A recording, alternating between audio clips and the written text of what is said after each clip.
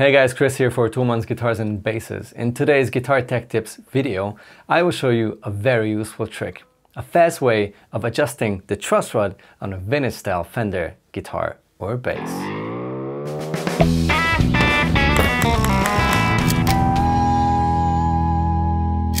In this series, I want to show you how to fix the most common issues and how to get the most out of your guitars.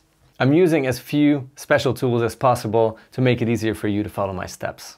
This time I will show you a simple but great trick to set up the truss rod on vintage style Fender guitars and basses. If you don't want to miss any of the other Guitar Tech Tips episodes, make sure to subscribe and hit the notification bell.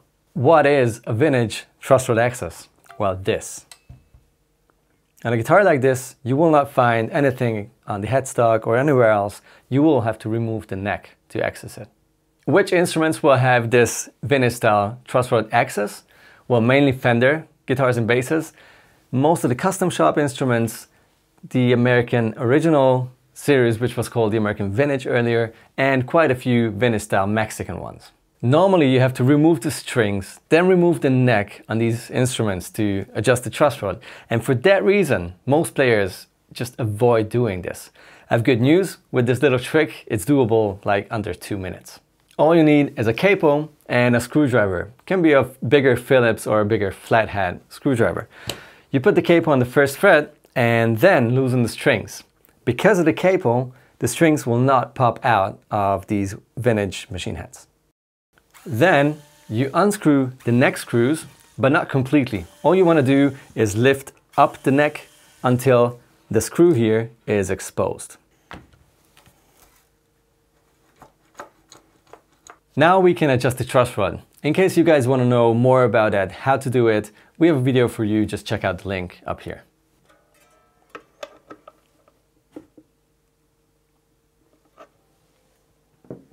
When you're finished, tighten the neck, tune the strings, and you're done.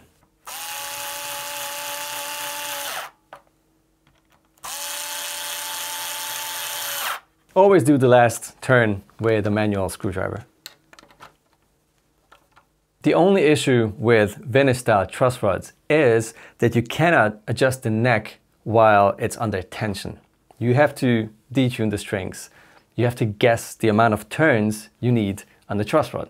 But don't worry, you will develop a feel for it. All right, it's time for a test ride.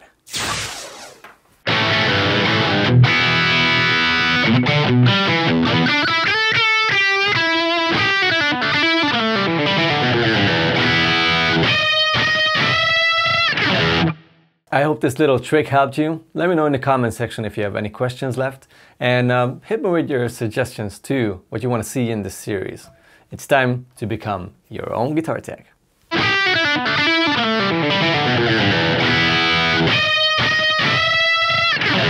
It's doable under two minutes. Ah!